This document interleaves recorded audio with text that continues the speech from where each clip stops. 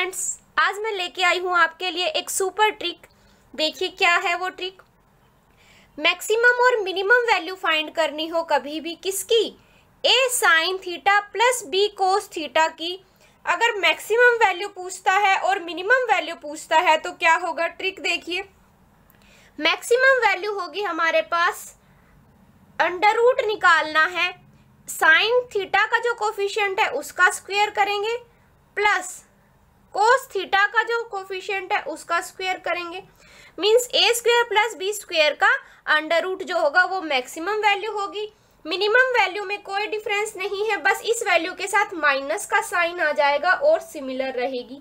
A square plus b square जैसे first question है आपका केवीएस में आया हुआ है और डी ट्रिप्लस भी में भी आया हुआ क्वेश्चन है ये।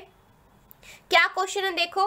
Sine theta plus cos theta की मैक्सिमम वैल्यू क्या होगी और मिनिमम वैल्यू क्या होगी?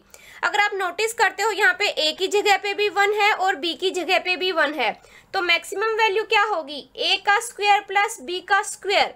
A square plus b square मतलब one plus one is equal to में रूट टू। और मिनिमम वैल्यू क्या है? जो मैक्सिमम वैल्यू है, उसके साथ सिर्फ़ माइनस का साइन आएगा। तो माइनस रूट टू क्या होगी हमारे पास? मिनिमम वैल्यू सेकेंड क्वेश्चन देखिए three sine theta plus four cos theta maximum value पूछता है तो क्या होगा? Root a square plus b square three का स्क्वेयर नाइन प्लस बी का square sixteen that is five maximum value क्या आई? फाइव मिनिमम वैल्यू के लिए क्या करना है? बस फाइव के साथ माइनस का फाइव करना है.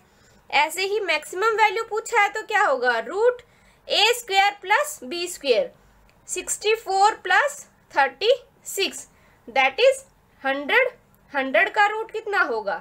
टेन मिनिमम वैल्यू क्या हो जाएगी फिर? माइनस का टेन है ना? एक सेकंड में क्वेश्चन सोल्व आई होप आपको समझ आ गया होगा। फिर भी कोई क्योरी हो तो आप मुझे कमेंट बॉक्स में कमेंट करके बता सकते हैं। हम फिर मिलेंगे एक सुपर ट्रिक के साथ. Thank you